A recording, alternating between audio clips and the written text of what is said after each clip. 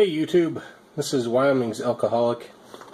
Um, I wanted to add another little segment to that uh, review of this rangefinder, simply because of the fact that I guess I didn't show you guys the boxing, the packaging, and what little bit it does come with. But uh, so, and if you happen to be watching this video first, I'm going to go ahead and post the link to kind of my field review video of this same thing. I took it out to my parents' ranch there, and uh, I was uh, checking the the range finding on it and using the reticle, and I discussed a little bit about the arc on here and that, and uh, so yeah. So, anyways, if, if you want to see that actual review, a field review, you can uh, look for the link in this video. Uh, but for now, I'm going to go ahead and just unbox this and kind of show you guys what this came with. So yeah, this is the Trophy Extreme Bushnell with the arc system. It's the 4x20 millimeter and it's the 7 to 850 yard uh, laser rangefinder. So on the back it kind of has some stuff here.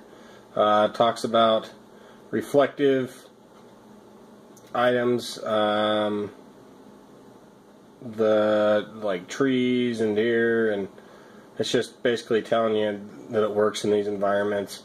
Um, the minimum it'll work and the maximum it'll work with these. So uh, it looks like it's saying the max yard for a deer is like 200 yards. So I'm not sure. You know, it says the minimum is 183 meters or that's the max. So the max is 200 yards, minimum seven, 70 yards. So if you're long range shooting with this, if you're one of those people that shoots like 500 yards or whatever, um, probably don't want to use this one. It's interesting though, it can range reflective or trees, you know, 600 yards and 850 yards. So I guess you could range something next to the elk that you're looking at and probably get an idea of what it is. But yeah, that's that's that's uh, odd that the deers only range at max of 200. Um, but that doesn't matter to me. Like I said it, uh, in my other video, we don't. I don't really like to shoot at anything that far, anyways. I like to get close to the elk if I can, or the deer, or whatever I'm hunting. Um, especially with archery, that's the reason I got this. Uh, I can pretty much have a good idea of range. Um, but you know, five or give or take five yards or so. But with a uh, bow, that's quite a significant difference. So, yeah, so that's interesting. That might change your idea of this or your opinion a little bit. So, yep, this comes through here and you just take this tab out. It's got this backing. So and it, like I said it doesn't come with a whole lot but for 130 bucks I didn't expect a whole lot. It's got this pack. And look there's a lanyard in there. Remember how I said I would hook a lanyard in it? This may not be long enough to go around my neck though so. But anyways there's a lanyard in here. I never even looked in there. This is just the magnetic pouch that holds it I guess that is less noisy in the field. Um, I don't know if I built this thing or not. It's got this stupid carabiner hook on it. I think that's a good way to lose stuff. But maybe not. Maybe you've had good luck with that stuff. I personally like to belt things or have them around my neck. so, yeah, it comes with that case. Um, what else do we got here? So this is just the box. Uh, so we got the lanyard. Uh, we got uh, registration, so I guess you can register it if you want. And here's the uh, booklet that kind of tells you about it. Um, looks like it's got warranty information, and half of it's French, and the other half is Spanish. So that's great. Yeah, so pretty much this is America anymore these days. We gotta print extra stuff. It would normally be this thick instead of this thick because that's the English side.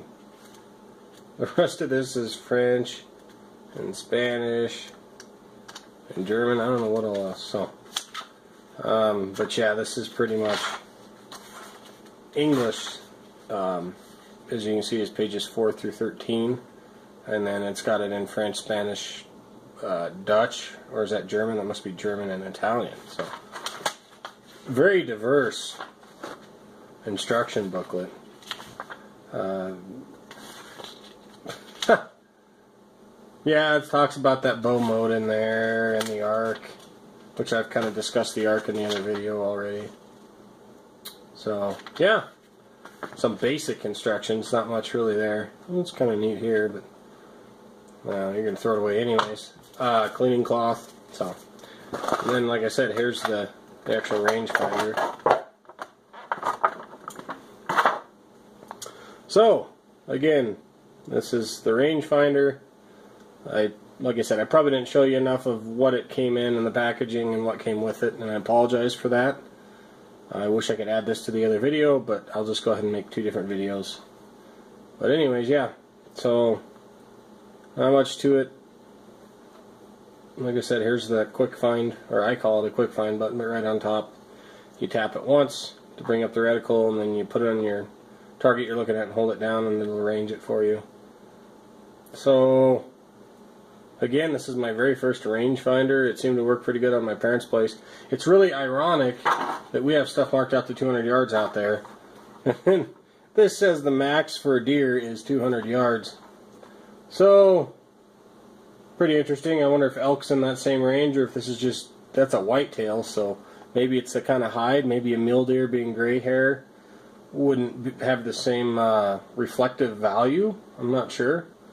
But you can range a reflective object to 850 yards, a tree to 600, and a deer to that. Well, most of the time where I'm hunting elk, there's trees around the elk anyways, and I'm not going to be shooting that far at an elk anyhow. Like I said, that's just not how I hunt. But yeah, so if you're a long range boomer and you're trying to shoot an elk with your 300 Win Mag out at 800 800 yards with a spectacular shot, this probably isn't the one for you because you're probably going to be shooting them out in the open plains.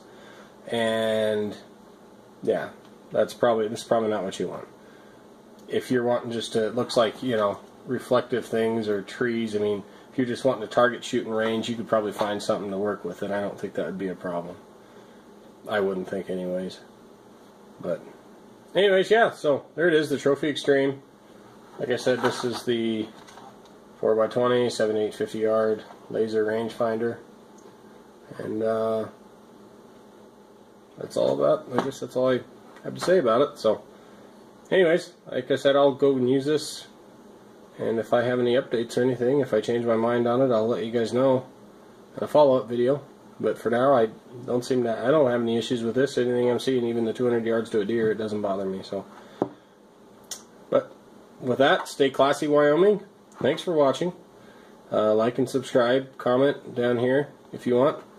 Uh, it's this comment section down here. If you have any suggestions or your own experiences with this, be sure to share it with everybody. And uh, like I said, like and subscribe if you don't mind. Um, but yeah, stay classy, Wyoming, and have a good day.